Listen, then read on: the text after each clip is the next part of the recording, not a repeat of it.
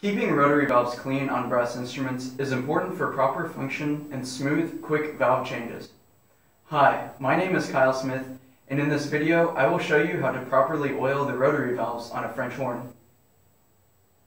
I would recommend oiling your valves either every day, every other day, or whenever they look dry, just so you can ensure fast valve action and avoid sticky or sluggish valves.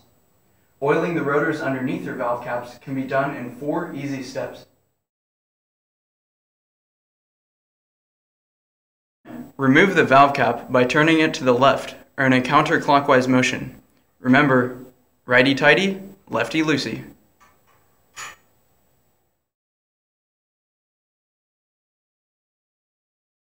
Place one or two drops of the valve oil on the rotors.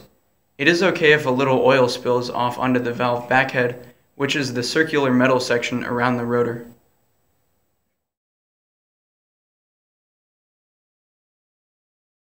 Step 3 is to press your rotary valve keys down a few times so that the rotation of the rotor helps lubricate the rotor against the backhead bearing.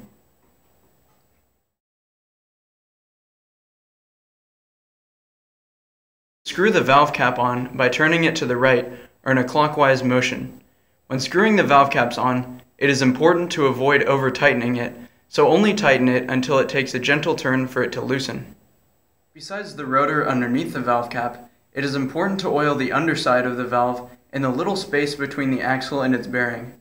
This will only need to be done every few days or if your valves are still lethargic after oiling the rotors underneath your valve cap. This can be done in three simple steps.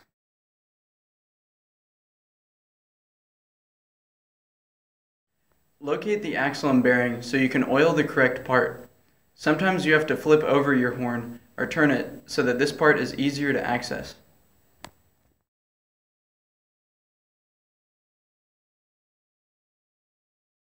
Step 2.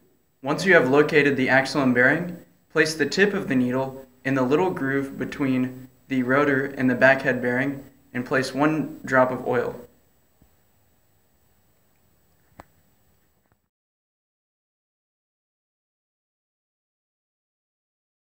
Press your rotary valve keys so that the rotation of the rotor helps lubricate the rotor against the back head bearing.